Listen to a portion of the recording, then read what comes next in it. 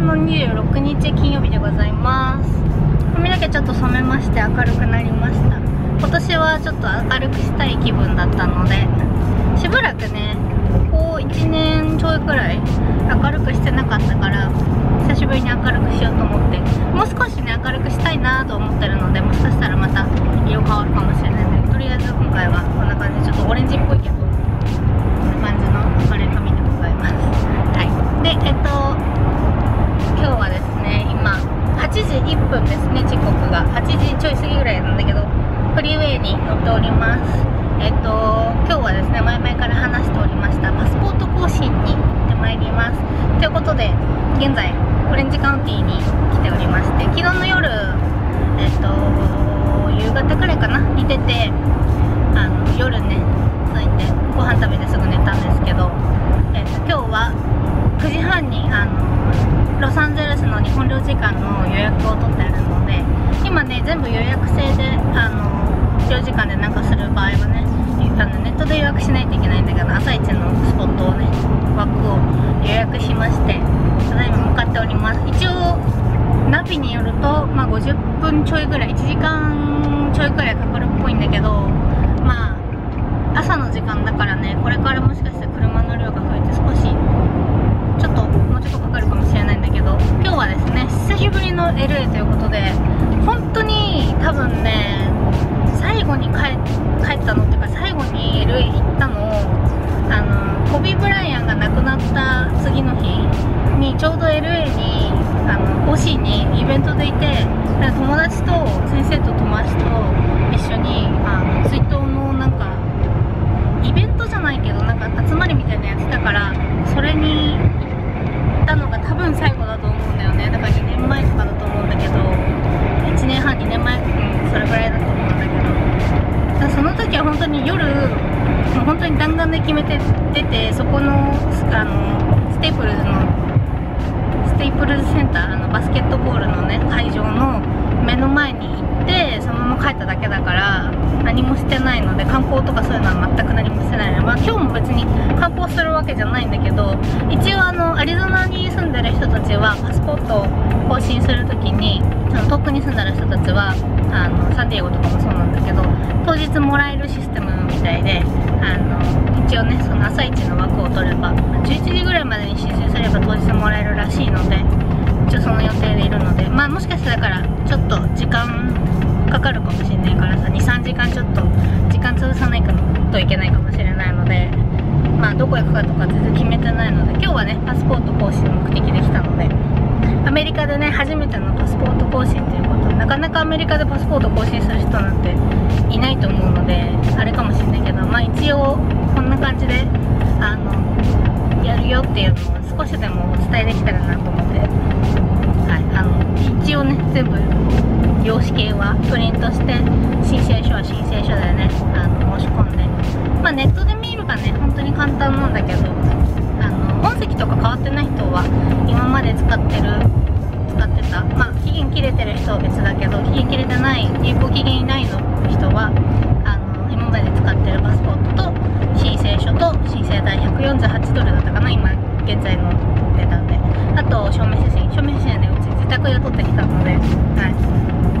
があれば大丈夫かなと思うので、まあ、用紙のねちょっと不備不備がないとは思うけどないように祈ってるのではいということで今回ちょっと長い目のドライブになりますけど向かっていこうと思います。相変わらずカリフォルニアの朝は曇ってますね。特にこの辺ねあのビーチすぐ横なので海沿いは本当にね朝超曇ってるからね。もうお昼過ぎて晴れたらいいなぐらいの感じだけど。もうアリゾナと比べたらカリフォルニアのね気温は最高ですね。ちょっとやっぱあの湿度がねそれこそアリゾナよりはあるけど気温がもう全然違うので朝のこのね時間とかまあ日がたし日が出てないっていうのもあるけど本当にね涼しくてね過ごしやすいので、いいですね。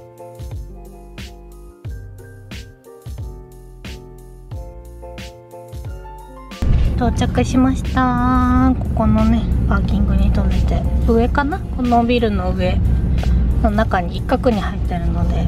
一つの建物じゃないのね。あのビルの一角にある。まあ領事館？大使館じゃないからなのかな。おおちょっと天井ギリギリなんですけど。まあ大丈夫かな。セルフパークに止めて。めっちゃ怖い。天井低いから。大丈夫なんだけど一応ねその高さのやつは書いてあるけど怖いね。エクソ来ました。なんかパーキングめっちゃ広くてさすごい下に行っちゃってさっき。全然誰も止めてなくてちょっとなんか怖いねって話をしてたんだけど。照明もね車通んないと暗くなるし。まだねあと30分ぐらいあるんだけどとりあえずちょっと上上がってみようかな。地上に出ました。ここはパーキングだけのエレベーターだったみたい。地上に出たので。ちょっとどこかわかんないので歩き回ります。マップ見てたらセキュリティのお兄さんが声かけてくれて。行き方どうでどこですかって聞いたら教えてくれました。このねめっちゃ高いビルの中に入ってるんだけどあそこのね中のカウンターでチェックインしてエレベーターホールの前のねカウンターチェックインしてあの9時半の予約のね紙を見せてなんか呼ばれるまで待っててくださいってことだったの。25分ぐらいに呼ばれるらしいので下のスタバで。もうちょっとだけ、ね、時間あるので。タバで飲み物買ってきまして待っております。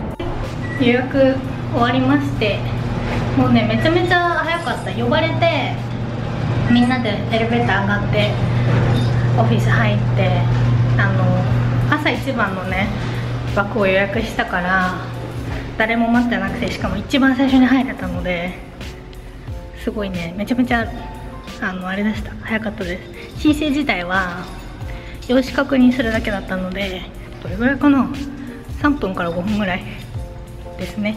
で3時に帰ってきてくださいとのことだったのでめちゃめちゃ時間あるからちょっと LA でね。とりあえず2人ともお腹空いたのでご飯食べつつちょっとブラブラしに行こうかなと思います。ということで地上に出てきましたが3時までなんと5時間ぐらいあるからねだいぶ時間あるのでりあえずご飯食べにあの。先生のね弟がねダウンタウン LA で働いてるからもしかしたら会うかもしれないけどまだ全然10時とかなのでね早いからちょっと食べ物を探しに行こうと思います。車を止めてリトル東京の方まで来ました。着きました。リトル東京。まだね朝だからどこも空いてないけどスーパーぐらいは空いてるかなということで来たんだけど。空いてるかしら。肉まんが食べたいらしいのでこちらに来ました。山崎。タコ味。タコス味。へえどうにしようかな。アイスも美味しそう。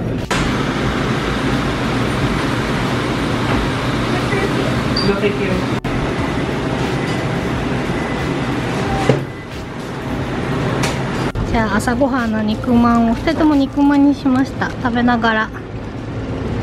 ちょっと休憩します。まだねあんまりお店開いてないからね。スーパーは開いてるね。日屋スーパーマーケット。あと山崎も開いて。あと他もう一個のねベーカリーも開いてるけど。あんま開いてないのでね。ちょっと食べながら。久しぶりだな日本の肉まん。いただきます。めっちゃプリクラ機が置いてある。あここだ。鬼滅のポップアップストア。そう今ね「鬼滅の刃」のオフィシャルポップアップストアがやってるんですよ。もう一個プリクラ機がありました。しかもちゃんと英語で喋ってくれるんだね。ちょっと汚めだけど。えー、すご。こんな感じでお札を入れるんだね。こちらの岡山工房のベーカリーがねこちらの知り合いの方のお店でおすすめなんでよかったら皆さん来てみてください。シーソルトグリーンティーにしました。先生コールドブリューですね。っていうことで。あ今日結構ね歩いて暑いからね。結構ムシムシしてて暑いので。飲もうと思います。いただきます。さっきドリンク頼んだんだけどそのこのね知り合いのオーナーさんに来たよってメッセージしたらなんと今日はねいらっしゃらないんだけどあのアリゾナにいるからね。なんだけどなんかドリンクをねいただきいただいちゃいました。桜。ストロベリー桜。桜？桜？すっごいくない？めっちゃなんかドライフラワーみたいなのが上に乗ってる。すごい美味しそう。あとねパンもいただいちゃってなんかありがとうございます。美味しそう。カレーパンかな？こっちは？おおあんパンかな？先生カレーパン好きだから。あげよう。ではいただかせていただきます。本当ねこのパンも美味しいのでねふわふわ最高いただきます。レトル東京の近くのちょっと人気のないモールに来ました。あんまりねあの賑わってないモールなんだけどビアードパパもあるしダイソーもあるんだけどうん、あんまりあれなんだねきっと。人も来ないから。観光客ももう最近いないからね。あっちにスーパーがあるけど全然人いないですね。リトル東京を出まして車に戻ってきました。ただいま時刻が12時53分です。あと2時間ね。ブラブラしなきゃいけなくてどうしようか迷ってるんですけど。とりあえずあのさっきパンをいただいたからお腹空いてなくてね。まあお昼は後ででもいいかな。あの夕方ぐらいになんか小腹空いたらちょこっと食べようかなぐらいの感じではいるんだけどどこに行くんでしょう先生がなんかブラブラ運転してますけどとりあえずちょっとあと2時間ね暇つぶししようと思います。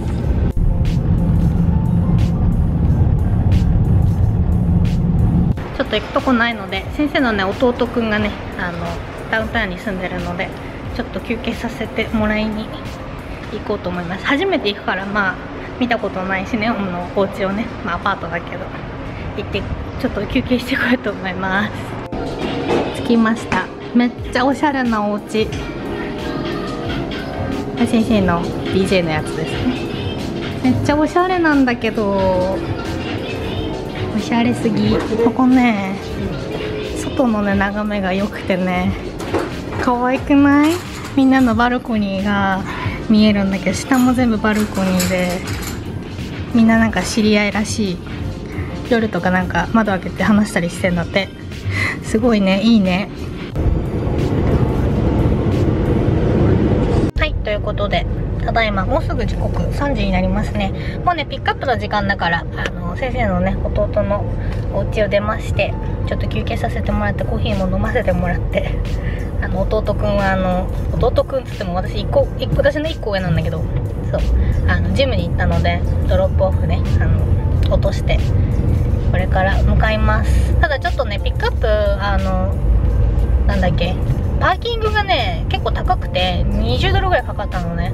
でピックアップだけのためにそのパスポートをねピックアップするためだけにまた20ドルぐらい払うのもったいないから先生にはブラブラしておいてもらって車で。多分そっちの方が安くつくのでね。私1人でちょっとパパッとどれぐらいかかるか分かんないけどあの行ってこようと思います。なのでもうねすぐ着くのでまあパパッと行ければいい。あんまま並んでないとっていうか待ってる人いないといいけど。はいということで。無事に受け取ってきました。右側がね古い方で左側が新しい方で右はあのボイドになったのであの穴が開いてまして、まあ、基本的にはね変わらないんだけどなんかねページのその顔写真のところの色が若干なんか青いんだよね。で左上にねなんか外務省のスタンプがあってちょっとそこが違うのかな。で発行国発行ん？発行なんちゃらみたいなところがなんちゃらかんちゃらロサンゼルスって書いてあってあのまあそちょっとページの色が青黄色から青になってるのとまあ、ほんのりねほんのり違うのとあとちょっとマークが足されてるのとその発行のねあの何ていうの部署が違うっていうのがして。はい。ということで無事あのパスポートを10年分ね更新してまいりました。めちゃめちゃね簡単だった。本当にもうあの申請も5分ぐらい受け取りも5分ぐらいでやってくれて。でそう当日にねあの発行してもらえて本当に。しかもみんなねあの皆さん働いてる方もすごい親切であのすごい良かった。本当にスムーズにいってね。で帰りもなんか「これから帰るの?」って言ってくれて「あもうちょっと滞在してから帰ります」つって「気をつけて帰ってくださいね」みたいに言ってくださって本当あのめちゃめちゃいい経験でした。まあアメリカで次あのパスポート更新するかどうかわかんないけど10年後ね。うん。なんかでもこれだったらなんか LA 来てもパパッと済むなっていう気になったので。はい。ということで無事更新してきました。はいということで無事パスポートも取り終わりましてえっ、ー、と車にね帰ってきましてこれから帰るところでございます。帰る途中にあのドン・キホーテだけ寄って帰ろうかなと思ってまあドン・キホーテという名の東京セントラルっていうねあのスーパーなんだけど、まあ、ほぼドン・キホーテなので中はね。毎回ね行って紹介したと思うんですけどあのしばらくそれから行ってなかったので、まあ、帰り道じゃ帰り道だしはい。あのちょっとお買い物してから着しました。ということであの食品系は買う予定ないんだけどあのなんていうの生もの系とか、まあ、お菓子ぐらいもしかしたら買うかもしれないけどちょっと生活用品をね見てこようと思います。ちょっとだいぶ時間が経っちゃいまして帰ってきてえっ、とお昼寝をねしておりました。結構長いお昼寝しちゃってもう8時もうすぐ9時になっちゃうのでまあ今さっき起きたわけじゃないんだけど1時間前に起きたからあのあとねドン・キホーテで、まあ、ちょこっとだけお買い物してまあそのなんか面白くない日用品系をねちょこっとだけお買い物して帰ってきたので帰りちょっとトラフィックだったからあの渋滞があったので少しゆっくり帰ってきたんですけれどもどれぐらいかな。6時6時前くらいに帰ってきたのかな。なんか1時間ちょいぐらいにお昼寝してたんですけれどもあのなかなかあんまり最近外に出てなかったから夏だったしね。アリゾナは外で何かできる気温でもなかったので久しぶりに暑いちょっと蒸し暑い中を歩き回って疲れてしまいまして あの昼寝をしておりました。